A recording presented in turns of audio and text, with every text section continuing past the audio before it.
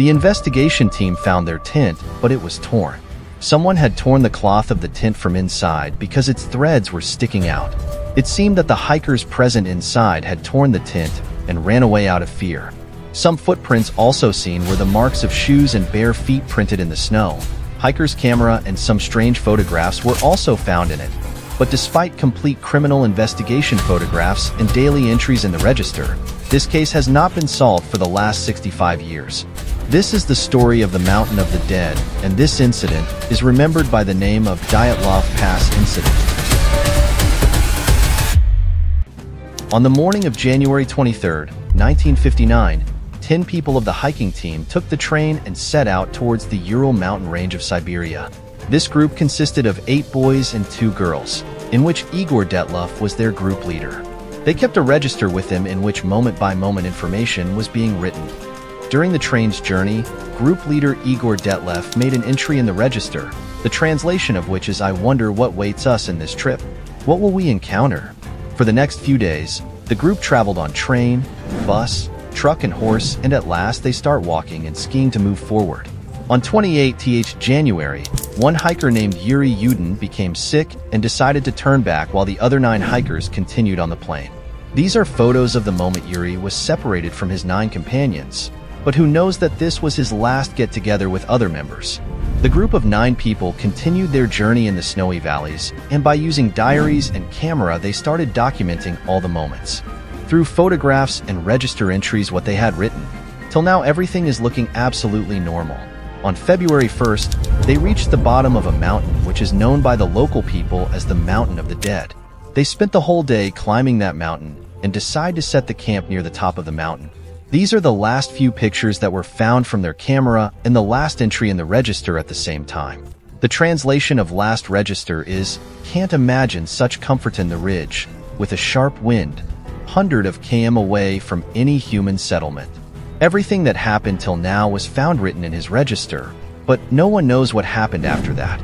This expedition was to take a total of 16 days, they had left behind telling their friends and family members that after come, come back down, and they will inform them through telegraph.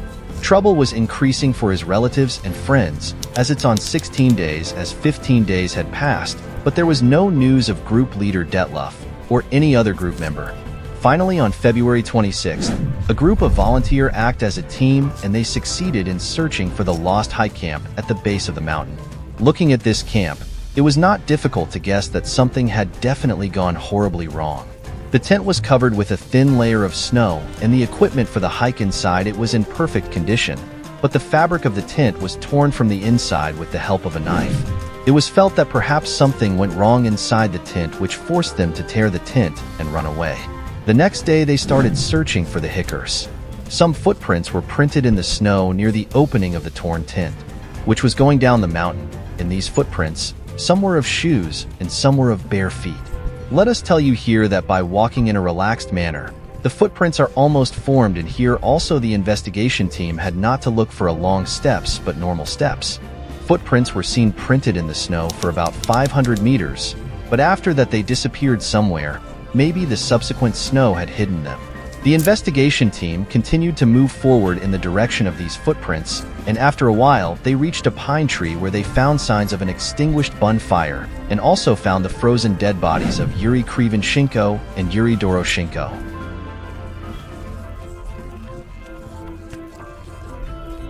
It took next two months to find out the bodies of nine hikers. First two hikes was wearing very little clothing. They had no jackets, no pants, gloves, hat, shoes, nor anything that one would wear in such cold weather to protect himself from the cold. They only had light shirts and underpants. When they looked at the weather archive, it was found that when they died, the temperature here was around minus 30 degrees Celsius, but their clothes were like those worn in the summer season. But why was this so? Some strange marks were also found on the nearby tree. Its branches were broken up to 5 meters, as if they had tried to climb it in the dark of night to save their lives. The bodies of the next three hikers were also found buried in the snow between the tent and the tree. In comparison to the previous two, they were found in slightly warmer clothes, but they too not wearing shoes and gloves. These three hikers were directed towards the tent as if they were going from the forest towards the tent, but in the midway they lost courage and died midway. Some wounds were found but the doctors said that the cause of death of these five was hypothermia, that is condition in which all the body heat is lost due to cold for a long time. The bodies of the last four hikers were recovered from under a rock in the forest. Their exact location was 75 meters in the opposite direction from that same tree. Three of them suffered serious injuries. The head of one was cracked and the ribs of two were broken. The medical examiner is of the opinion that such injuries could not have been caused by a human or animal attack. He believes that they fell from a high place. Animal attack is used because the eyes of two of them were out and the girl's tongue was missing. The most surprising thing was that two t-shirts and a pant found from the crime scene had radioactive material on them. Investigation was going on with the understanding that perhaps someone had killed them or they had been murdered, but on May 28th, this criminal case was closed because there was no evidence to show that they had been murdered or that they had committed suicide. Then what actually happened to these nine people? What is the meaning of leaving the door of the tent and tearing it down? Was there such an emergency that everyone had to tear the tent with a knife and come out? Whatever this emergency was, it ended as soon as they came out of the tent because there were no trace of their footsteps to run away. That is, the danger that was in the tent disappeared as soon as they came out and they started walking relaxed. According to the official report, six out of nine hikers died due to hypothermia. But looking at his condition, it was difficult to believe that they had died due to cold. Till now, this case had received international coverage. Family members and many other people started raising their voice against the hypothermia story of the Soviet Union. They believed that the Soviet government was hiding the real reason by covering up the death of hikers, especially when radioactive particles were found in three clothes. Everyone's attention turned towards nuclear testing. It was the era of Cold War, and just a few years ago, America had shown the world a glimpse of its power by dropping nuclear bombs on Hiroshima and Nagasaki. After that, the Soviet Union had also started doing many nuclear tests. People thought that the Soviet Union has secretly conducted a nuclear test on this mountain, due to which nine hikers have lost their lives due to radiation, and now they want to hush up the case by blaming hypothermia. The investigation team was looking at this case from different angles. On one occasion, avalanche was also blamed as the reason for this accident. It is possible that if they had felt an avalanche during the night, then everyone left the tent and ran away. But the theory of avalanche could not be digested because if the avalanche had come, then the thin layer of snow that covered the tent would have been a very thick layer.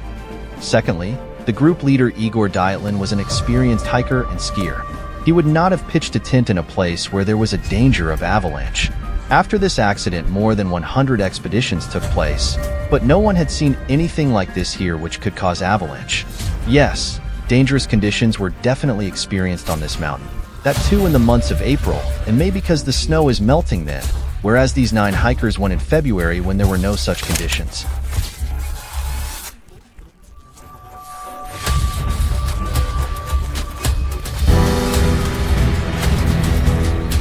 This is the last photo taken by the hikers, which was taken on the same night when this accident happened. It seems that this is a photo of some light which the camera lens could not focus properly in the dark. Due to this, a new theory began to emerge. Some people believe that it could be some unidentified flying object in the sky. On the other hand, some people told that it can be the emergency light which placed on the tent, or it can be photo of candlelight mountain. Whether that thing on image is rocket, UFO, or meteor, one thing is fixed that there is nothing fall near to them. If it was so, then when dead bodies can be found inside the snow, why was the debris of the crash not found? The real reality of this last photo could never be revealed, then our real question is still the same. What is the real reality of the accident at Dyatlov Pass? Why did they tear the pit from inside? And how some hikers suffered dangerous injuries? Why they were wearing such thin clothes, even in such cold, when all of them were experienced hikers? To know the truth, we turn to the tent, which is actually the first link in the chain. If seen in the photo taken a night or two earlier, then we can see the exhaust pipe is coming out of the tent. This exhaust pipe and the stove kept inside was made by group leader Dyatlov himself. They had also used this stove on the night of the accident because it was inside the tent and cooked food was also found in the tent. It is possible that when the exhaust pipe was closed, due to some burning coals remaining in it, the fire suddenly flared up again. When the tent was found, It did not have an exhaust pipe. That means if there was a fire, then instead of coming out, the smoke was accumulating inside due to this Hickers present inside started suffocating. This is the only reason why they could not control the smoke, and they immediately tore the tent and came out. Evidence is also present to prove this theory because burn marks have been found on the body and clothes of Hickers and blood was also coming out from the mouth of some of them. Let us tell you here that one of the reason of blood coming with cough is to inhale too much unfiltered smoke. After coming out, they walked comfortably and started looking for a shelter. Some hikers came out of the tent without warm clothes. They already knew a place for the shelter. That is why they went under the trees, and after reaching there, they started a bonfire there, whose extinguished coals along with the tree were found by the investment. For hikers who were wearing more clothes, they went a little deeper into the forest to search for wood on the rock there. A small avalanche was triggered, and they fell off the cliff into the rocks below. Due to this fall, they suffering life-threatening injuries, including a cracked head, broken ribs, and internal bleeding in their chest. The two hikers, who were wearing less clothing, fell into the pine trees. The remaining three hikers who want to return back to the tent got exhausted and froze while climbing back towards the tent, while the two hikers sitting near the bonfire also froze and died due to the extinguished fire. Talking about radioactive particles, let us tell you that everything is a little radioactive, but these clothes were more radioactive than necessary. A member of the group, Alexander Kolovaly, worked in a nuclear facility and George Krivanshank worked in a top-secret Soviet nuclear production plant. The radioactive clothes found belonged to these two hikers only, whereas radioactive elements were found in normal quantity from the clothes of everyone else, and those hikers whose body parts were missing may have been injured when they were fighting for their lives. But it may have been attacked by wild animals. Today, 65 years have passed since this accident. Out of the group of 10 members, only Yuri Yudin was left, who left the expedition due to illness. He died a natural death at the age of 76 years on April 27, 2013. I hope you all will like and share this video. Thank you very much for your loving comments. See you in the next great video.